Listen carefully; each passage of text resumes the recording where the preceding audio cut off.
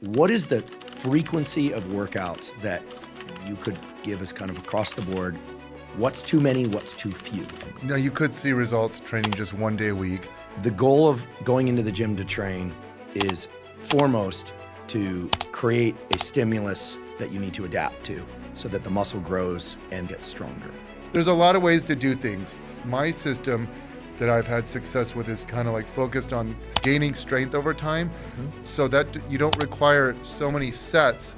The main thing is are you progressively overloading the muscles? Are you putting more tension on the muscles over time? Take notes, have a logbook or an app that keeps track of your progress, and you have a goal in mind. Otherwise, you're just going to be spinning your wheels. And that's how people grow.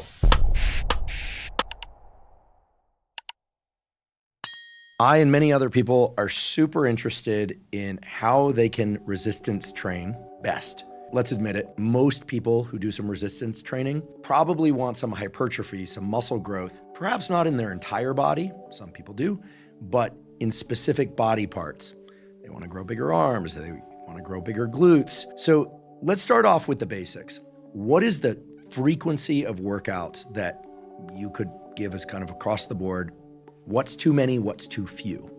Yep. So I would say two times a week full body would be like the minimum. Now you could see results training just one day a week. Like if you had a coach that was that knew what they were doing, you could get good good results just lifting weights one day a week. It would be a brutal day, but it would be full body. You'd hit mostly, you know, the big basic multi-joint movements. But if you stuck to that, you would see a lot of gains and you could keep seeing gains for you know, theoretically an entire year or two.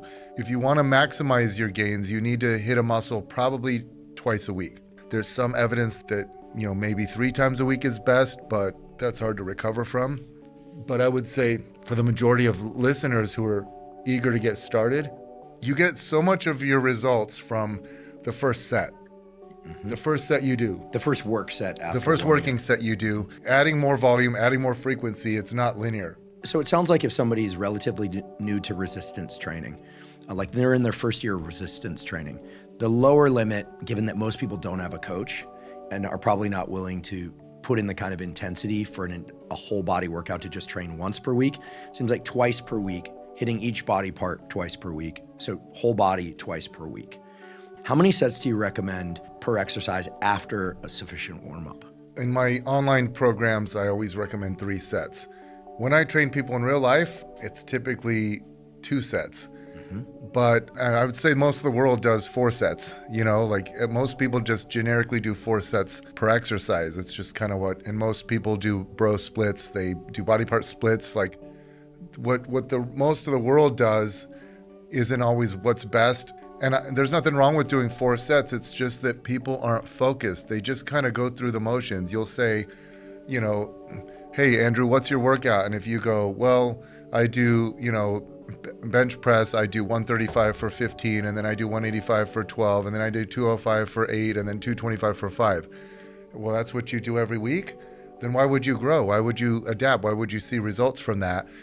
So a lot of people just go through the motions. When you have a plan and you're u- utilizing progressive overload, the main thing is are you progressively overloading the muscles? Are you putting more tension on the muscles over time?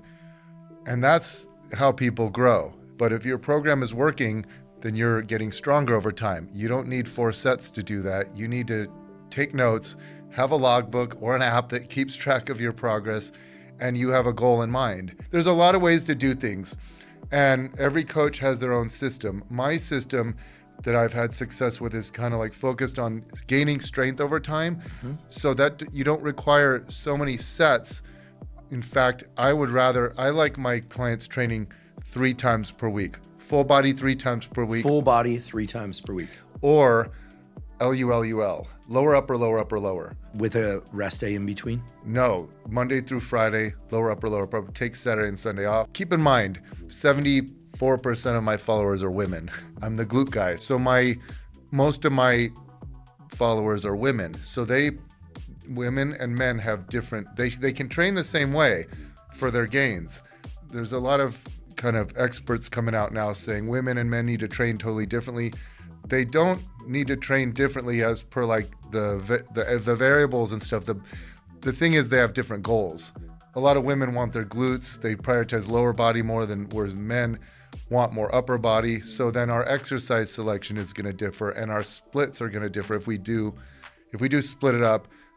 They want typically 3 lower body days and 2 upper body days whereas men would want probably the opposite th- three upper body days and two lower body days. Many roads can lead to Rome, but you do need to make sure that you're gaining strength over time if you want a muscle to substantially change.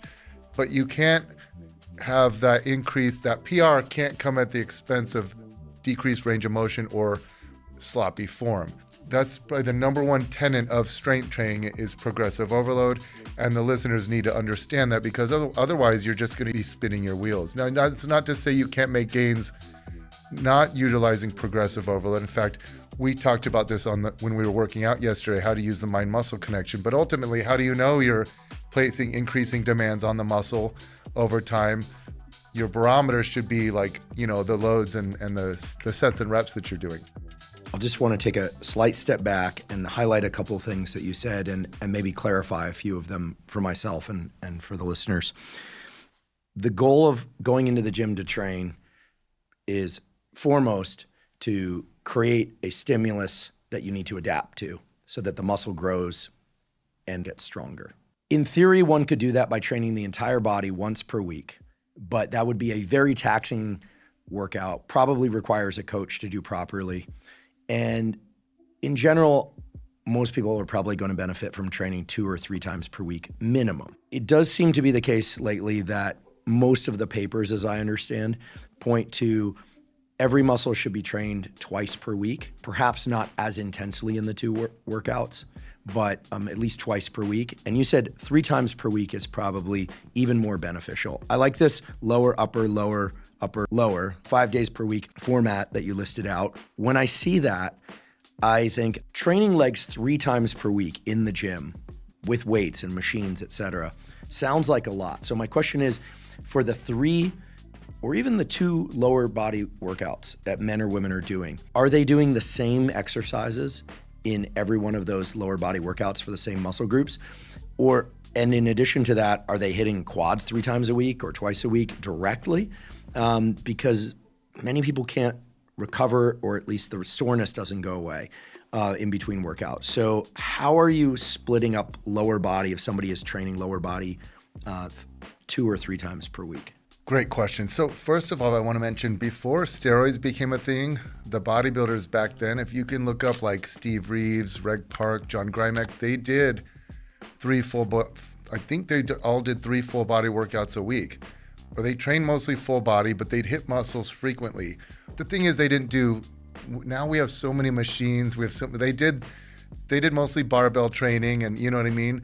They focused on the big basics, and they would repeat movements. The goal is gaining strength. So with every person, it's unique, and there's so many ways to do this. If I have some people deadlift hard twice a week, they might get back pain, even if they're using good form. What if they're really weak have really weak hamstrings in isolation, and I start giving them seated leg curls, and it transfers to their deadlift. The seated leg curls doesn't put stress on their low back. You get stronger by identifying weak links, and there's a lot of transfer between the different lifts. I don't believe you need to repeat the same movements all the time. And I also think you should switch it up every month. And that's one thing I've had a lot of success with. With my system, I've had a lot of success. We have like a, a squat and bench press month. Then the next month will be a deadlift and chin up month. What does that mean? That means that during all lower body workouts, you're doing squats and deadlifts? No, you do always do all the movement patterns. It's what you do first and what you focus on. That's what you're going for the PR on. But I'm not trying to have you get stronger at squats every single month. And if you don't like barbell squats, you can do, you know, Hack squat. Hack squat, leg press. It could be a single leg movement. But it's the movement pattern. From the side view, does it look like a squat? Mm-hmm. So that could be a squat, hack squat, lunge, belt squat, leg press, V squat. They all work very similarly. So I want you getting stronger at those, um, but not every month. So here's what I kind of realized. Have you ever focused on? You, you say you don't want your your chest and back. You're not trying to grow maximally But if you, let's say you're just trying to get as big as humanly possible, have you ever said, I want to see if I can work my way up to 20 chin ups? Uh, I haven't, but um, you mean in a single set? Yeah. Um, no, I've ne- I have not done that. Well, if you did do that, your back muscles would probably get bigger, right? And Sure. but you'd you'd be like, okay, I have this chin up goal. I want to get 20 chin ups. How am I going to get there best? I'm going to start doing more chin ups. Maybe you don't like chin ups all the time, so you do heavy supinated pull downs. I've realized they transfer. There's like a one on one to one correlation. I never realized that till the last couple of years. Supinated, treating it like a chin up. Okay, so for those that don't know, supinated means palms facing you. Palms Basically, facing you. palms facing you, pull down or on a pull down machine Yep. uh, to you know chest level or something in that to the front, obviously. You can recover quickly from those. So you can do chin ups or pull downs three times a week. But what's gonna what else will help your chin ups? Training more biceps. When I had my female clients start doing barbell curls and EZ bar curls, their chin ups went up. So it has its own rules. When you focus on like the chin up month, you can hit these movements frequently, you can recover from them. But what about deadlifts? If I said you're gonna focus on deadlifts this month, I don't know many lifters that can deadlift really hard twice a week. They beat you up, especially when you get strong. So you might have, you might, if you're hitting three full body workouts a week, maybe only do heavy deadlifts once a week, but the other time you're doing a more, uh, like a hingy, like a stiff leg deadlift or a good morning, real strict, not going crazy. You might leave some reps in reserve, or you're just really strict so you don't get so you don't get as sore from that. And then the other day might be a ham. So you start out with a hamstring movement or something. These lifts have different rules that you figure out over time, and it also depends on the individual. Some people can squat three times a week. Some people can can't get away with that. They'll develop hip pain, knee pain, low back pain.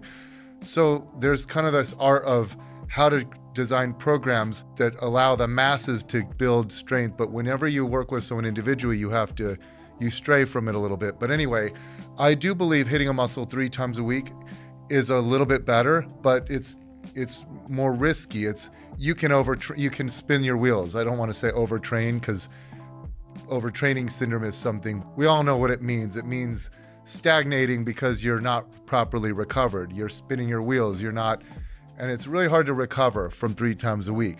Um, so that's why the safest bet is hit a muscle twice a week. But I think if you know what you're doing, you can do three times a week.